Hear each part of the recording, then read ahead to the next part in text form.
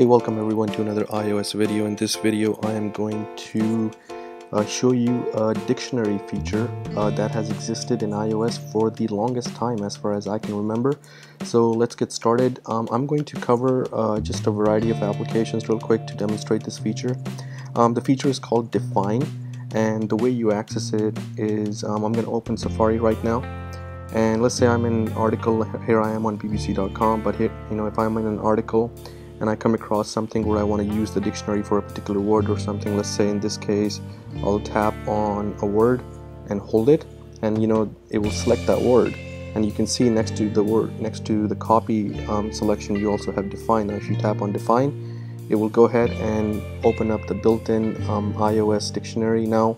Um, uh, it, with recent iterations uh, and updates of iOS I noticed that Apple also allowed you to manage your dictionary. So on the lower left corner, you can tap on manage and then you know you can download um, uh, different dictionaries. So I thought that was a very nice touch. Um, so let me go back. So this was in Safari and then um, let me back out of here and then let me show you Engadget real quick. Um, and in Engadget, I have another like article opened up.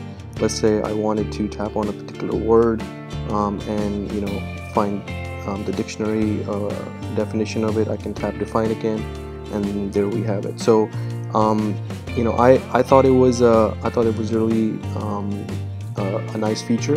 And then let me go back and I'll show you the mail application down below Apple's mail application. So like right now here I am in Google's uh, um, email. So let's say tap on people hold it let go and I can tap define again and there we have it. So I'm showing you a variety of applications. It works pretty much across iOS. Um, and then Flipboard is the last one I want to show and I kept Flipboard for the last because uh, there's a bit of a, an interesting thing with Flipboard. So here I am I'm going to tap on this article and I'm going to read it. Now you see how this article doesn't have that flip animation.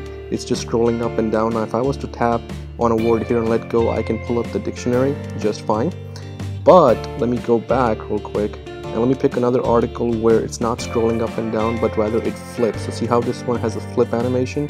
In this one I noticed um, that you cannot just hold uh, and tap a particular word to pull up the dictionary. So that's the only limitation I've seen but I think these are like third-party limitations um, and not really Apple limitations. So there you have it. Uh, I hope you find use for this feature. Thank you very much and I will catch you in the next one